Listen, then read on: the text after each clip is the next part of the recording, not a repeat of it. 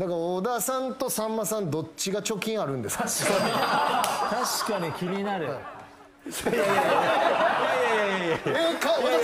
いやいやいやいやいやいいやいやいやいやいやいやいやいやいやいやいややいやいいやいいやいやいやいやいやいまいいやいやいやいやいやいやいやいやいやいやいやい